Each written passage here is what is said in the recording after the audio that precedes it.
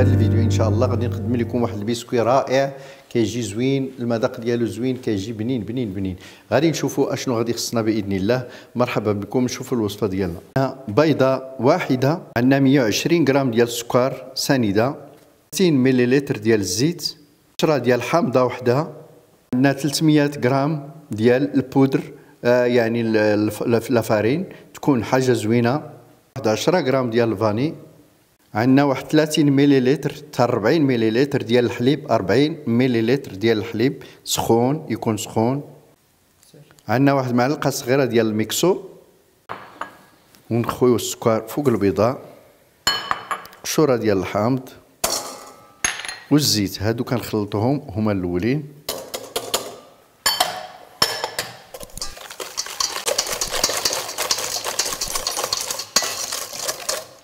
هذا بسكوي رائع. غادي نديرو إن شاء الله الحليب.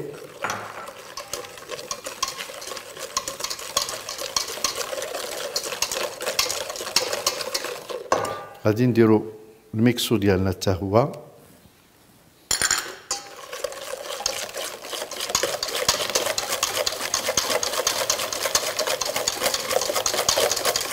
نخلطو هذا الخليط ديالنا. مزيان.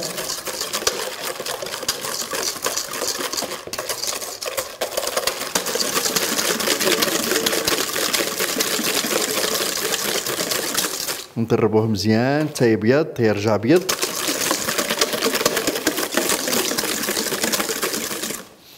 هنا غادي ناخدو الفرص ديالنا ها هو. ونديرو الفاني أيضا. هاد العجينة ديالنا غير بيدينا.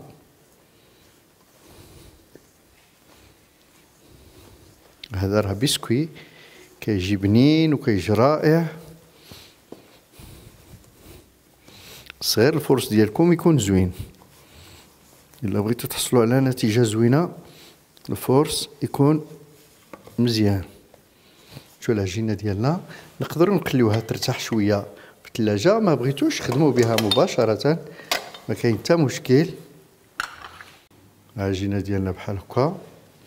كندوزوها في السكر سكر سنيدة كنحطوها وكنقادوها بيدينا بحال هكا شوية.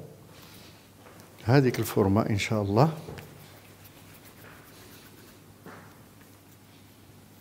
نحاولوا نديروهم مقادين. الشكل إن شاء الله دائما ندوزهم في السنيدة. ونحطوها ونحاولوا نضغطوها شوية باش تجي مقاده هنا في 180 درجة. غادي ندخلو الحليوة ديالنا باش طيب تقريبا 15 دقيقة حتى 20 دقيقة ما تفوتهاش. مرحبا بكم إخواني أخواتي هذا هو البسكوي ديالنا. كيجي محمر من التحت ومن الفوق كيبقى بيض بحال هكا يعني طايب مزيان. كيجي رائع. نتمنى منكم إخواني أخواتي تجربوا هذا البسكوي المذاق ديالو راه رائع والتجربة خير برهان إن شاء الله. مرحبا بكم في القناة ديالكم. بإذن الله غادي نتهلاو فيكم آه، في الفيديوهات القادمين. غادي نقدم لكم أشياء رائعة بإذن الله. والسلام عليكم ورحمة الله تعالى وبركاته.